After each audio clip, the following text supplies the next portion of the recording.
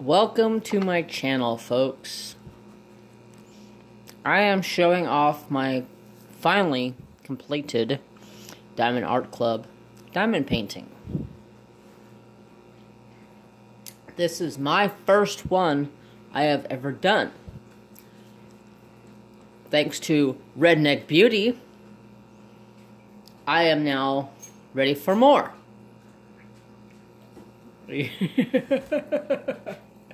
you goober. Get down. That's my boy. Here, take the rest. Now get down. Trapper do. Get down. Thank you.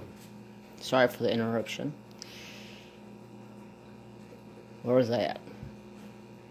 Oh, yes. Redneck Beauty started doing these.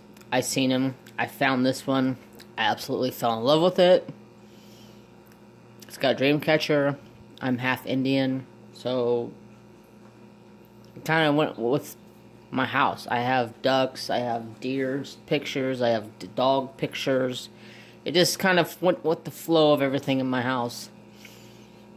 So I bought it. And it's taken me a, quite a long time to complete it because of multiple other reasons.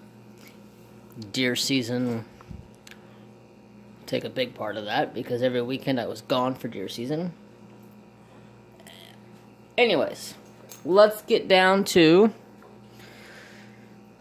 the diamond art painting. Yes, I see you. You're fine. So, this is my bag of trash from the painting.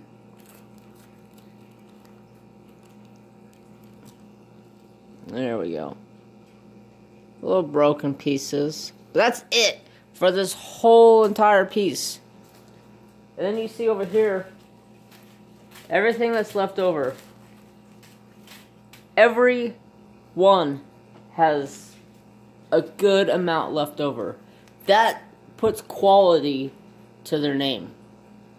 I mean, I've never done any other paintings like this. But from what I can see, Diamond Art Club's got their stuff together.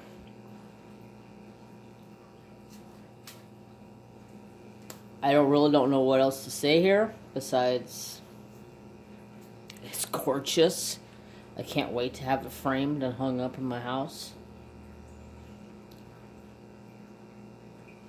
And I hope you all have an awesome day or night whenever you're watching this. Please leave a like. If you haven't subscribed already, if you want to, go ahead and do that. I'm not being pushy. By far, I'm not being pushy. Leave a comment down below. How you like it. Y'all have a fantastic night. Peace.